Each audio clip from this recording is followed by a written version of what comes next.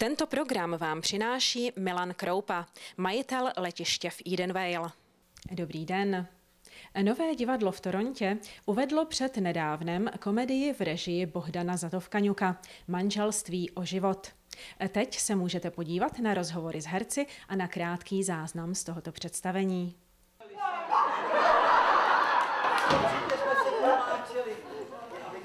nová, že jo? Krásný šatičky, smíme to tak říci. Víte co, přijďte až potom, jo?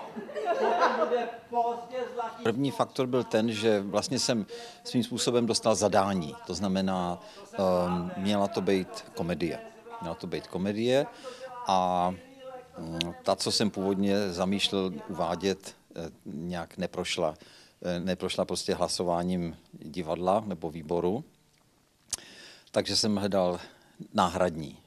A měla to být komedie, kterou jsme schopni zahrát, která nevyžaduje náročné e, scény, jako teda kulisy, a která nemá velké obsazení.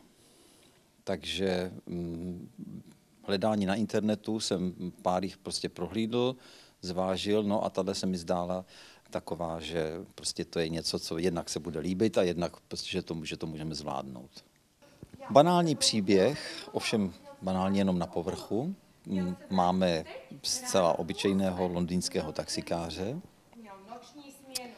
který žije svůj všední život den ze dne, střídá směny, chodí domů, až náhodná příhoda ve městě, která ho vyvede z té rutiny, vyvede na povrch to, že vlastně on má dva domovy a dvě manželky.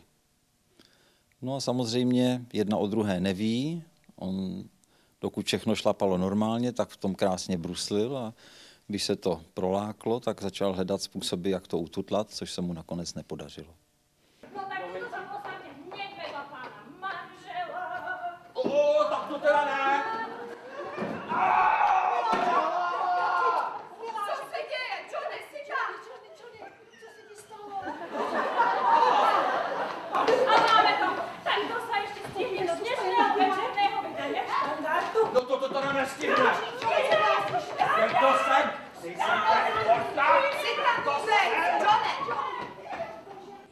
Ty tam mluvíš česky, jak se s tím srovnáváš, kolik ti to dalo práce?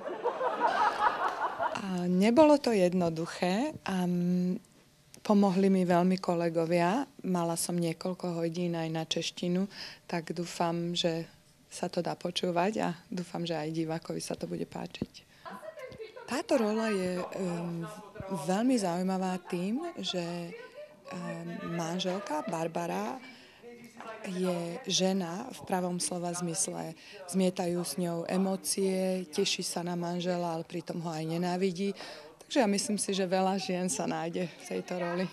Tahle role je velice netypická pro mě, protože mám dvě manželky a ve skutečnosti ani jednu. Takže je to starostlivá role a něco, co si musím vymýšlet, co musím studovat, protože mi to není blízké. V čem je to těžké? Pro herce, když jede vlastně od začátku až do konce na stage? Tak musí vědět, eh, v jaký je scéně, kde se nachází a musí vědět, eh, že má oporu v těch eh, svých spoluhercích a vlastně ta následnost děje tomu pomáhá.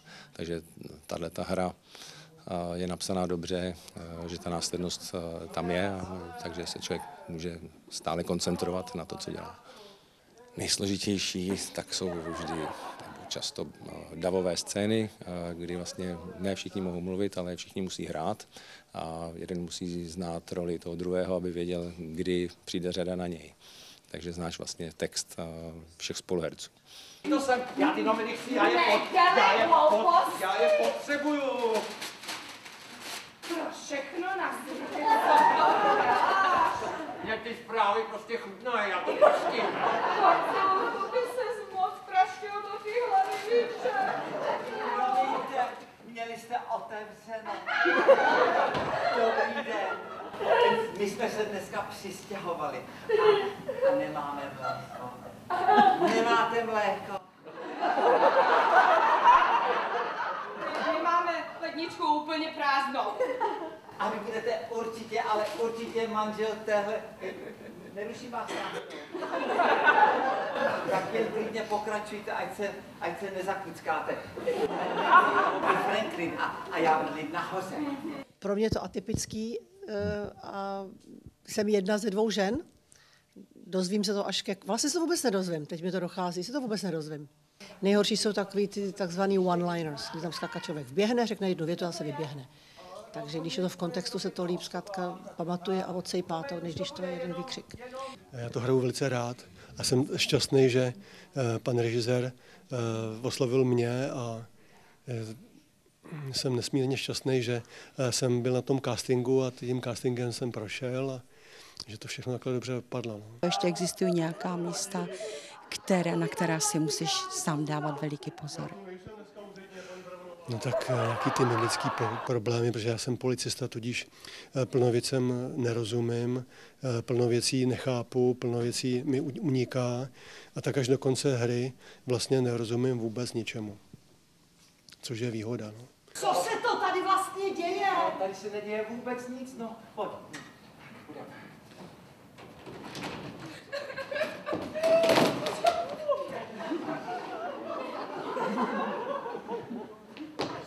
všichni?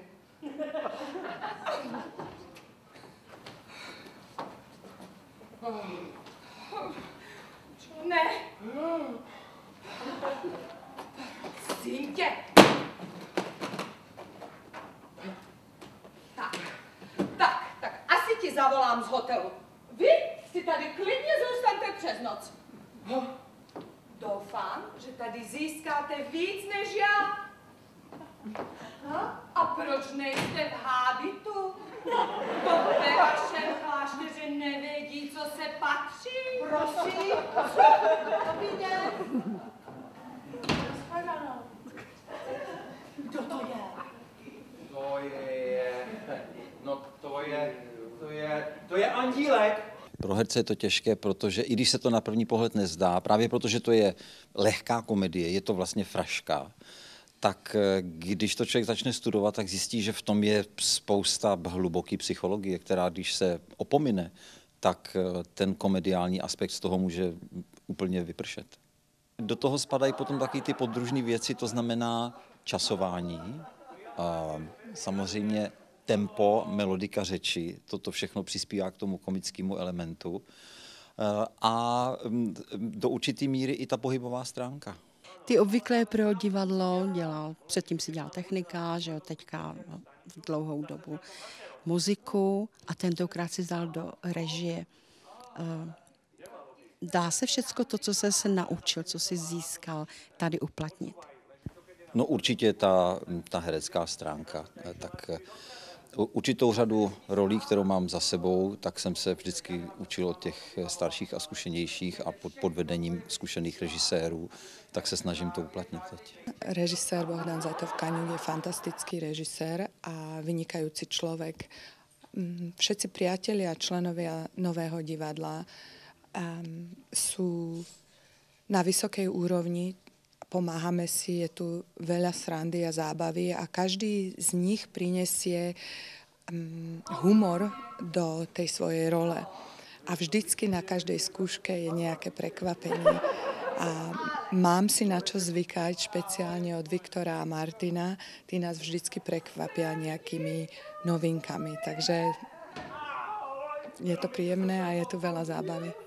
Myslím, že jsme se na tyhle tý, na zkouškách na tu hru nasmáli šíleně moc, až nás teda bylo břicho, takže já doufám, že se i diváci budou smát. A jako byl, je to situační komedie a my si to ještě zlepšujeme při zkouškách, takže jako opravdu to byla sranda.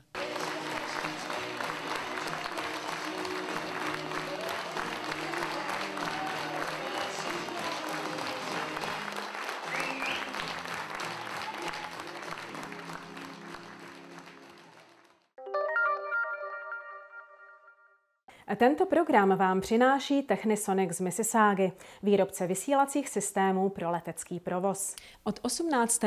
do 21. května jste zváni na druhý toronský ročník filmového festivalu Check That Film.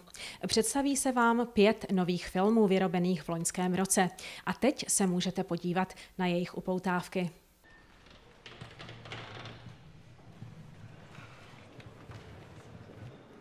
Vaše jméno? Milada Horáková. Jste si vědomi vznesených obvinění? Jsem. Je někdo doma? Chyběla si mi. Prezident vás očekává, paní Horáková. Takže tě chce do politiky. Právě se vracím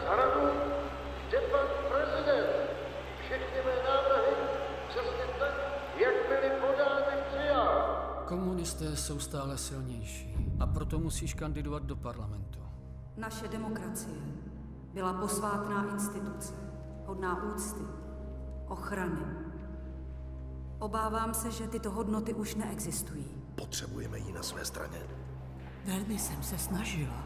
Snažte se víc.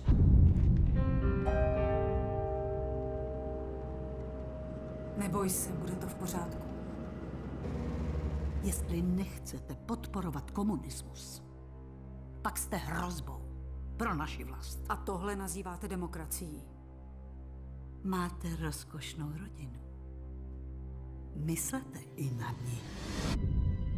Já chci věřit, že zlo bude potrestáno. Chci se donutit věřit, že svět bude takový, jaký by měl být.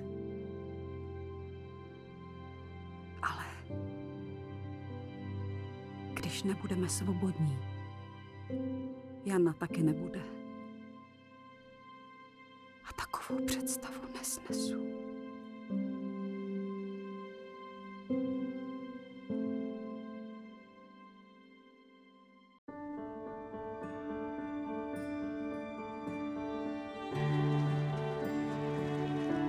Ale my si tady tykáme. Já jsem Broňa. Pojď, pojď.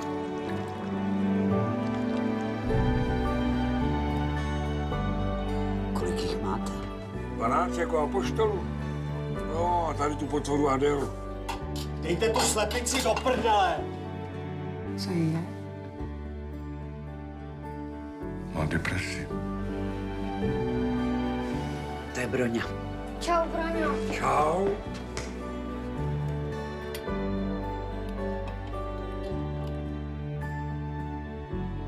Moje rodina. Jsou to moji synové. Pičusové jsou to oba dva. Středná, bratře. Proč? Jste z obci. Oba dva. Andělům odvrhalo ráno křídla. Sír. A v koutech usínají moje sny. Za oknem déšť tiše zpívá.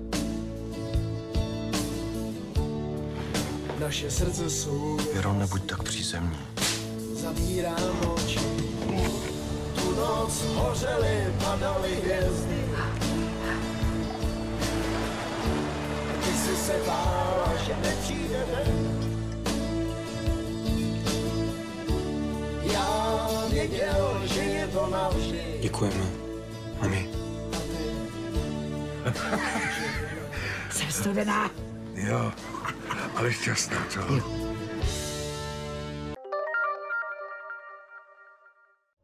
Ministru vnitra soudruhu Jagodovi od BarkovovéAny Alexandrovny. 2. března 1935 Moskva. Byla jsem dovedena k odpovědnosti podle paragrafu 58.10 za aktivní antisovětskou agitaci, která byla vedena v antisovětských hovorech pomocí teroristických výroků mezi mými známými.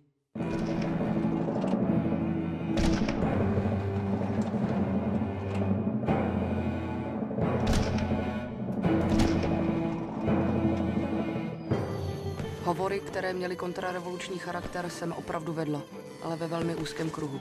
Na úrovni výměny názorů, ne s cílem agitace.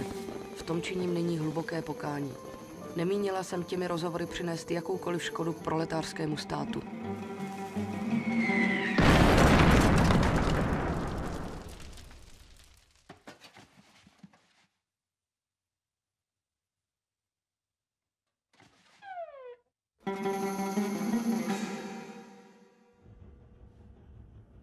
Profese je žurnalistika.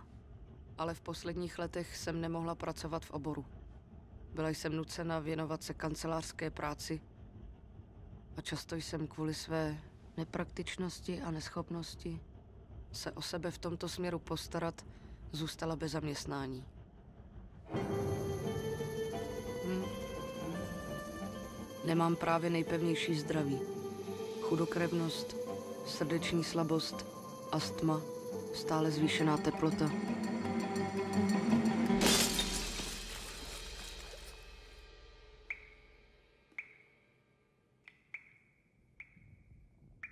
Vzhledem k mému zdravotnímu stavu a absolutní bezradnosti v praktickém životě bude pro mě potrestání ve formě vyhnanství, například pomalou smrtí.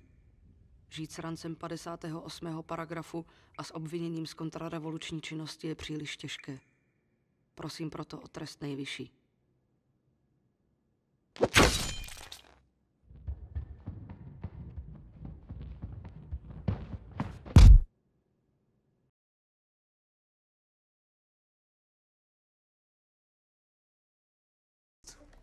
Řekněte a... A ovce. Bé. Tak zítra. Štěstí je často citovaný, ale těžko uchopitelný jev. Může být štěstí samo o sobě? Nebo vzniká až ve vztahu?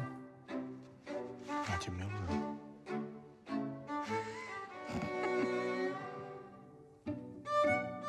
Budete se brát? Cože? Ptala jsem se, jestli se se Simonkou budete brát. Jak ti to tady podezřelo sluší? Pro začátek bychom se mohli slíknout. Co blbneš? Ta dvojka pohárů, to bude nějaký nový vztah, nebo přátelství, nebo tak něco? Nemůže sem někdo přijít? Ne. To bychom toho měli využít. Nepřijde ti blbý, jak se bude ten kočár hejbat? Simonka někoho má? Jak jsi na to přišla, prosím tě? Já mám na tyhle věci cit. Takovýho motýla bych chtěl každý do své sbírky. Robí, Hmm. líbím se ti? Chceš, abych byl někdo jiný, než jsem?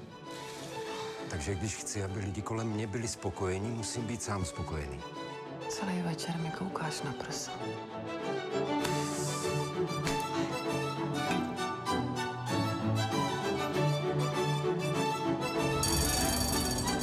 Pane, máte nějaký problémy?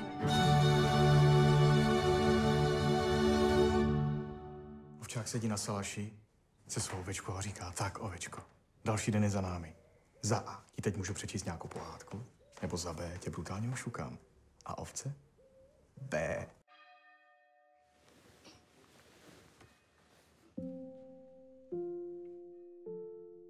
Při procházce liduprázdným krajem jsem si na polní cestě klekl. Měl jsem přece ve svých sedmi letech ty oči, co mám teď, akorát byly níž. V kolenou mi zapraskalo a stromy podél cesty rázem vyrostly. A co bylo přede mnou na zemi, bylo blíž a chtělo se mi na to šáhnout.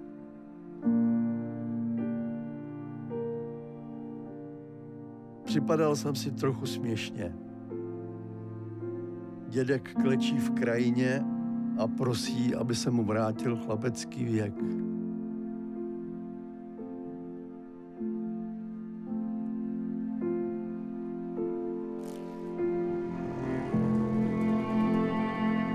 To jsou barvy naší vlajky. Máme vlastenecký včely. No ale nikde to samozřejmě nebudeme troubit. Kluk si nečistí boty. Starýho člověka nezměníš.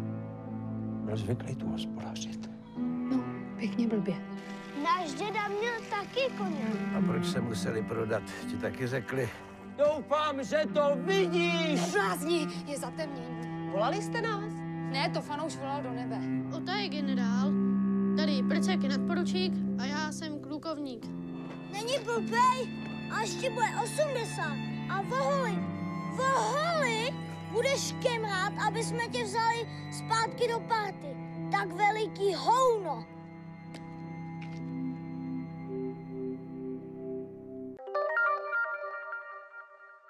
Sokol Toronto srdečně zve veřejnost na desátý jarní festival konaný v neděli 6. května 2018 ve 12 hodin v hale kostela svatého Václava na 496 Gladstone Avenue v Torontu. Rezervace u Hany Juráskové na 905 838 5269 nebo e-mailem hana.jurásek zavináč yahoo.ca. Generální konzulát České republiky v Torontu vás srdečně zve na koncert Pražského smíšeného sboru 25. května od 18 hodin v Rosedale United Church na 159 Roxborough Drive v Torontu. Koncert je pořádán u příležitosti z tého výročí založení Československa a 50. výročí založení Pražského jara. Nová vize hledá mladé lidi ve věku do 29 let, kteří mají zájem o spolupráci v pozici asistenta producentky a práce se sociálními médii. Podmínkou je dobrá znalost angličtiny, aspoň částečná znalost češtiny a kanadský status trvalého pobytu. Na tuto pracovní pozici poskytuje kanadská vláda grant. Zájemci hlaste se na telefonním čísle 647 892 6912 nebo e-mailem novavize.ca zavináč gmail.com. Nová vize je jediná česká televize mimo hranice České republiky. Za 15 let jsme vám přinesli už 750 programů. Pokud chcete, aby se tato rarita v Torontu udržela i nadále, podpořte nás. Za všechny vaše finanční příspěvky děkujeme a jsme za ně velice vděční. A já se s vámi těším na shledanou opět za týden.